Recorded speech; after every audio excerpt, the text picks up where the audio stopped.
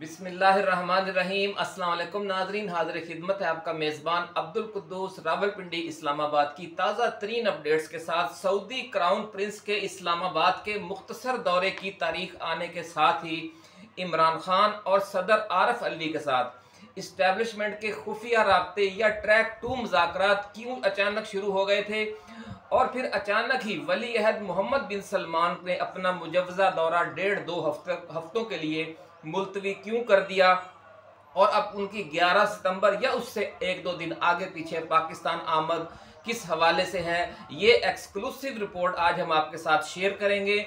और ये भी बताएँगे कि हतमी फैसला करने के लिए ये जो डेडलाइन दी गई है, ये कहाँ से आई है? और ये जो हमारी आज की इस एक्सक्लूसिव वीडियो की तफसीलात हैं, ये शेयर करने के साथ साथ हम मरूफ एस्ट्रोलॉजर डॉक्टर उमर फारूक की ताज़ा तरीन पेशगोइयों से भी आपको आगाह करेंगे कि इमरान खान के जायचे में सैारा जोहरा ने अपनी उल्टी चाल से, जिसे इल्म नजूम की असलाह में रजत कहा जाता है, कब ख़त्म की है और इसके क्या असरात अगले 11 से 15 दिनों में मुनद होने जा रहे हैं।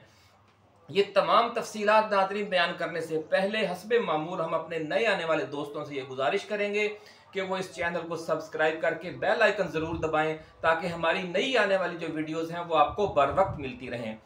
नाजरीन, ये जो हमारे इस चैनल के मुस्तकल व्यूअर्स हैं, उन्हें याद होगा कि हमने पाकिस्तान के दोस्त हमसाया ममालक, चीन, ईरान, सऊदी अरब और मुतहदा अरब अमारात की तरफ़ से दोस्ताना दबाव पाकिस्तानी स्टैब्लिशमेंट पर डाले जाने के हवाले से आपको आगाह किया था। अभी भी वो हमारी वीडियो जो हफ़्ता, जो एक हफ़्ता पहले या एक माह पहले या डेढ़ दो माह पहले अभी तक मौजूद हैं। इमरान खान की गिरफ्तारी से पहले से मौजूद हैं और उनकी गिरफ्तारी के बाद भी मौजूद हैं। आप जाकर देख सकते हैं। ये बड़ा सिलसिला जारी है तवील अरसे से, जब से इमरान खान की हुकूमत ख़त्म हुई है, क्योंकि आपको याद होगा कि हमने आपको बता चुके हैं और इधर उधर से भी आप खबरें सुनते रहते हैं कि इस खत्े में एक नया स्ट्रेटजिक ब्लॉक तश्कील पा रहा है और उस ब्लॉक की तरफ़ इमरान खान का झुकाव था, जिसकी वजह से उन्हें सजा दी गई। अब वो ब्लॉक इतना ताकतवर हो गया है और सऊदी अरब मुतहदा अरब अमारात ने अपना जो वज़न है उस पलड़े में डाल दिया है और ये जो हमारे दोस्त ममालक हैं, हर मुश्किल वक्त में हमारे काम आते हैं। इसलिए अब जो नए इस स्ट्रेटजिक ब्लॉक की तरफ़ से ज़िम्मेदारी सऊदी अरब ही को सौंपी गई है कि वो पाकिस्तान को सियासी इस्तेकाम वाली हुकूमत की तरफ़ लाए ताकि कम अज़ कम दस साल एक ही हुकूमत रहे जिससे अवाम की सपोर्ट भी हासिल हो। तो उसी हवाले से दबाव है, उसी हवाले से दोस्ताना दबाव है, मुखलसाना मशवरे हैं जो हमारी इस्टेबलिशमेंट को दिए जा रहे हैं और सऊदी क्राउन प्रिंस उसी हवाले से मामला को हतमी शक्ल देने के लिए तशरीफ़ ला रहे थे। लेकिन इस दौरान इस्टेबलिशमेंट से ये ख्वाहिश ज़ाहिर की गई थी कि प्रिंस के आने से पहले ही इमरान खान के साथ मामला तय हो जाएँ। इसलिए हंगामी मुजाकर शुरू हुए। Track two मुजाकर chief justice of, sorry, army chief जो हैं और जो आईएसआई चीफ हैं, वो ईवान सदर पहुँचे। तवील मुजाकर हुए। जराए का ये कहना है कि इस दौरान चौथा फ्लोर खाली करवा लिया गया ईवान सदर का, ताकि कोई बात लीक ना हो, क्योंकि मामला बहुत ही हसास है। इस पर अमेरिका की तरफ़ से भी शदीद नाराज़गी सामने आ सकती है। इसलिए ये कोशिश की जा रही है कि जब तक मामला हतमी शक्ल ना तय पा जाए, इस हवाले से कोई भिनक भी बाहर ना निकलने पड़े। लेकिन आपको पता है कि दीवारों के भी कान होते हैं और बातें बाहर निकल आई हैं। इस हवाले से नाजरीन, ये कहा जा रहा है कि पाकिस्तान को 100 अरब डॉलर की गैर मामूली सरमाकारी की पेशकश भी की गई है और ये कहा गया है कि आप सिर्फ़ मुस्तहकम हुकूमत कायम करें, बाकी सब हम पर छोड़ दें। तेल, गैस, बिजली, इन चीज़ों की महँगाई भी वो कहते हैं जो हमारे दोस्त ममालक हैं कि हम चंद माह में आपको हल कर देंगे, उसका उसका जो हल भी निकल आएगा, ईरान से गैस भी आएगी सस्ती और ईरान से सस्ती बिजली भी आएगी, सस्ता तेल भी रूस से आएगा, ईरान से आएगा, जो हमारे दोस्त ममालक हैं, सऊदी अरब और मुतहदा अरब अमारात, उनकी तरफ़ से भी खसूसी पैकेज दिया जाएगा। ये तमाम मामला पसे पर्दा ये पेशकशें जारी हैं और इस्टेब्लिशमेंट भी अब ये समझती है कि हमें आई एम एफ़ के चुंगल में हमेशा के लिए फंसे रहने से बेहतर है कि जो हमारे खत्े के ममालिक हैं, चीन है, रूस है, ईरान है, सऊदी अरब है मुतहदा अरब अमारात है और अब तो ज़रा का ये कहना है कि कतर भी इनमें शामिल हो गया है। तो ये तमाम जो दोस्त ममालक हैं, अफ़गानिस्तान भी इसमें शामिल हो गया है। तो पाकिस्तान का चूँकि मुस्तबिल पाकिस्तान की स्ट्रेटजिक डेप्थ सारा कुछ इन्हीं ममालक से वाबस्ता है। इसलिए इस्टेब्लिशमेंट ये फैसला कर चुकी है कि हमने इन ममालक के साथ चलना है। इसका मतलब ये नहीं कि हमने अमेरिका से दुश्मनी करनी है या ताल्लुक ख़त्म कर लेने हैं। बिल्कुल ऐसी ही पॉलिसी हमने इख्तियार करनी है, जिस तरह की सऊदी अरब मुतहदा अरब, अमारात और भारत ने इख्तियार की हुई है कि उनके अमेरिका के साथ भी अच्छे ताल्लुक हैं और रूस के साथ भी और चीन के साथ भी अच्छे ताल्लुक हैं। भरपूर तजारत हो रही है, सारा कुछ जारी है।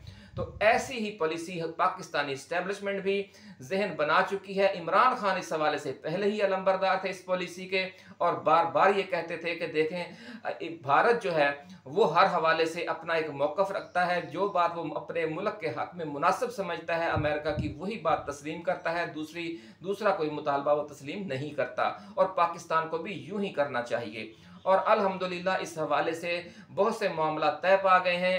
हम बड़े अरसे से ये सारी तफसील आपको बयान करते आ रहे हैं। जब दूसरे चैनल मायूसियाँ फैला रहे थे, दूसरे जो वीलॉगर्स थे वो मायूसियाँ फैला रहे थे, हम आपको बता रहे थे कि ये मामला जारी है और इन अज़ीज़, क्योंकि इसके अलावा कोई दूसरा रास्ता है ही नहीं, नाजरीन। इस दौरान जब दबाव डालकर, जब आपको पता है कि मुजाकर हो रहे हो तो फिर हर किसी की ख्वाहिश होती है कि हमारी शराइ पर यह डील तय हो जाए। इस्टेब्लिशमेंट डील तो करना चाहती है इमरान खान के साथ, क्योंकि दोस्त ममालक का दबाव है। लेकिन वो ये चाहती है कि ये डील उनकी शरात पर हो। जबकि इमरान खान का अपना मौक़ है, आपको पता है कि वो जिस मौक़ पर डट जाते हैं, फिर उससे वो पसपाई इख्तियार नहीं करते। इसलिए उन्होंने कहा है कि मैं ना तो जिला वतनी कबूल करूँगा और न ही डील करके सियासत से बाहर होना कबूल करूँगा। उनका कहना है कि वो इलेक्शन में हिस्सा लेंगे। अगर उन्हें कैद में रखा गया या नाहल करार दिया गया तो फिर भी वो इलेक्शन लड़ेंगे। अपने जो जानसार साथी हैं, जानसार रहनुमा है, उनके ज़रिए।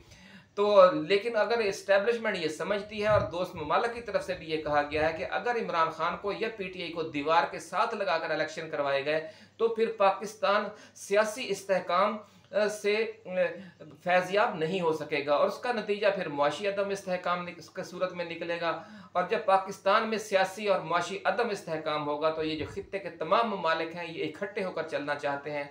पाकिस्तान इनके दरमियान में है, हमारी जोग्राफियाई पोजीशन भी ऐसी है और सियासी पोजीशन भी ऐसी है, स्ट्रेटजिक पोजीशन भी ऐसी है कि हम इस पूरे ब्लॉक का दिल हैं, चौराहा है पाकिस्तान। ये अल्लाह रब्बुल इज़्ज़त की अता है हमारे लिए, और इस अता से इन शज़ीज़ अब फैज़याब होने का वक़्त आ गया है। इस्टेबलिशमेंट ने भी अब जहनी तौर पर यह फैसला कर लिया है। इमरान खान की साबत कदमी कि ये जो आखिरी दस पंद्रह दिन है इन अज़ीज़, इसका अच्छा ही नतीजा बरामद होगा। इमरान खान ने कह दिया है कि मैं मुजाकर के लिए तैयार हूँ, मैं सियासी जमातों से भी मुजाकर के लिए तैयार हूँ, मैं इस्टेबलिशमेंट के साथ भी मुजाकर के लिए तैयार हूँ, लेकिन मुजाकर सिर्फ़ एक बात पर होंगे, और वो ये कि नब्बे रोज़ के अंदर आम इंतबात गैर जानबदाराना आज़ादाना और शफाफ इंतबात और बात अब इसी तरफ़ जा रही है।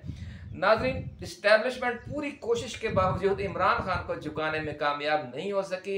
ये जो इंतकामी कार्रवाइयों में खौफ व हरास में बहुत बड़ी तेज़ी आ चुकी है, जिसकी वजह से लोग मायूस हो रहे हैं, ये हर मुजाकर के आखिरी दिनों में आती है। जो लोग स्ट्रेटजिक मामला को समझते हैं कि जब तक मामला फाइनल नहीं हो जाते, दोनों फरीक अपनी इंतहाई पोजीशन ले चुके होते हैं। एक दूसरे पर दबाव बढ़ाने के तमाम हरबे इख्तियार किए जा रहे होते हैं।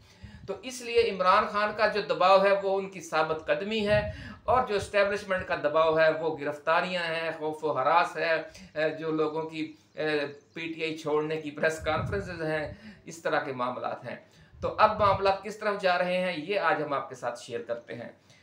नाजरीन, जो दोस्त ममालक हैं, ख़ास तौर पर सऊदी अरब, आपको हम बता चुके हैं कि उनका इसरार ये है कि ये जो गो मगो की सूरत हाल है, इसको आप ख़त्म करें। इतफाक़ राय से मुल्क में एक मुस्तकम हुकूमत के क़्याम की तरफ़ बढ़ें। इसलिए आपको, आपने सुना होगा कि चंद रोज़ कबल ही आर्मी चीफ और आई एस आई चीफ ने सदर आरफ अलवी से जाकर मुलाकात की। चौथा फ्लोर खाली करवा लिया गया, जैसे अभी हमने आपको बताया है।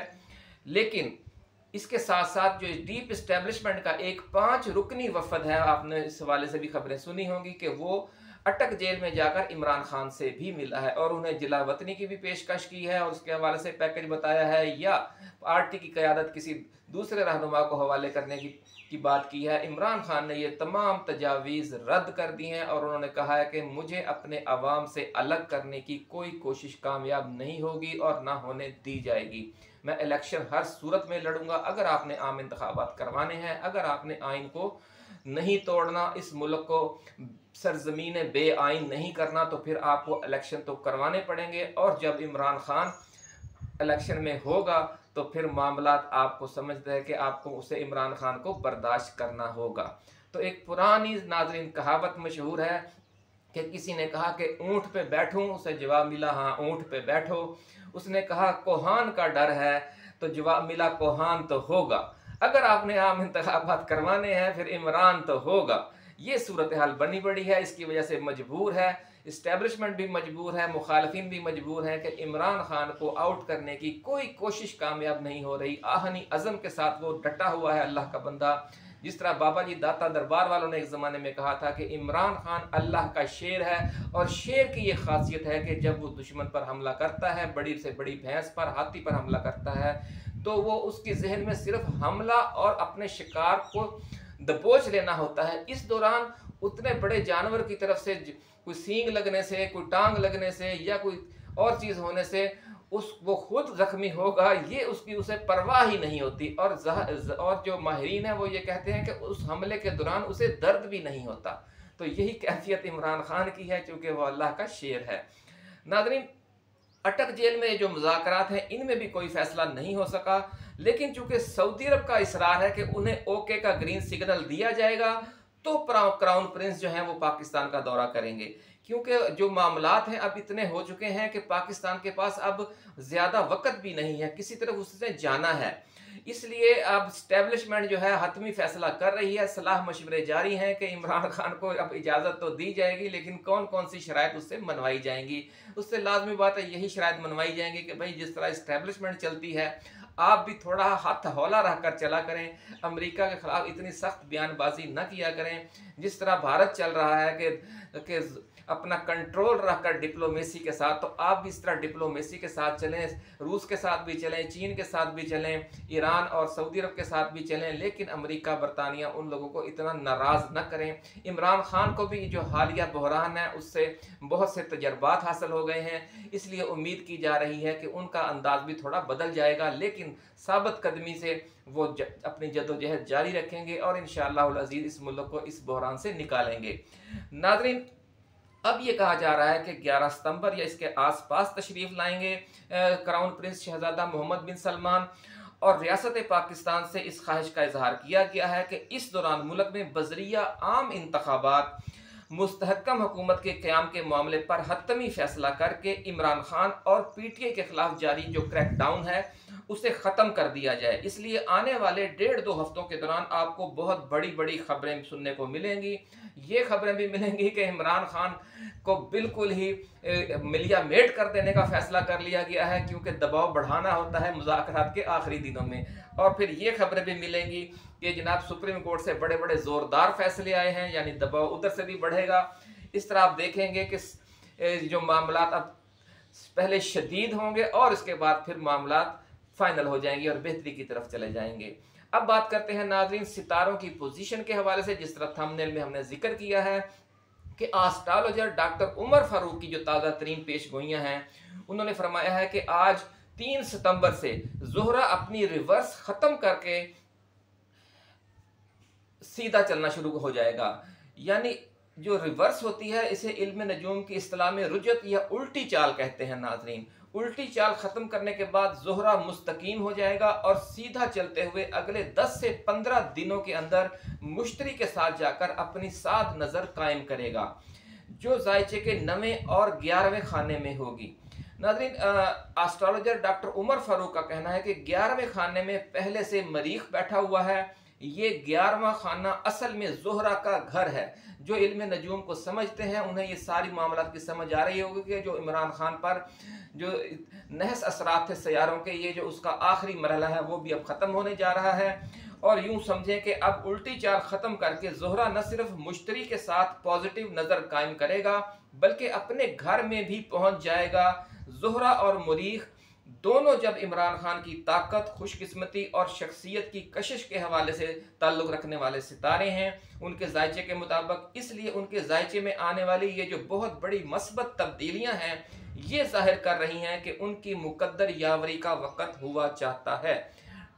डॉक्टर उमर फारूक ने यह कहा है दो तीन दफ़ा ज़ोर देकर के अगले दस से पंद्रह रोज़ में जो वक़्त शुरू होगा वो इमरान खान की मुकद्दर यावरी का वक़्त है और उसके नसरात आपको बहुत जल्द नज़र आने लग जाएँगे। नाजरीन, आप समझते हैं कि जब मुकद्दर यावरी करे और किस्मत साथ दे तो बहुत से उल्टे काम सीधे हो जाते हैं। तो ऐसा ही इन अज़ीज़ अगले 10 से 15 दिन में इमरान खान के साथ होने जा रहा है। ऐसी ये पेश गोई की है डॉक्टर उमर फारूक ने और उन्होंने कहा कि मौजूदा आजमाइशों से वो सुरखरू होकर निकलने वाले हैं। और ये इशारा दे रहे हैं सितारे और इमरान खान का जायचा नाजरीन, इसी के साथ आज की हम ये वीडियो एक्सक्लूसिव वीडियो ख़त्म करते हैं। जिन दोस्तों ने इस चैनल को सब्सक्राइब नहीं किया, वो इसे सब्सक्राइब करके बेल आइकन ज़रूर दबाएँ ताकि जो हमारी ऐसी ही एक्सक्लूसिव वीडियोस हैं, वो आपको बर वक्त मिलती रहें। आप अपना, अपने दोस्तों, अपने रिश्तेदारों और गिरदो नवा में रहने वाले तमाम अहले वतन का बहुत ख्याल रखिएगा। अल्लाह हाफिज। पाकिस्तान, जिंदाबाद।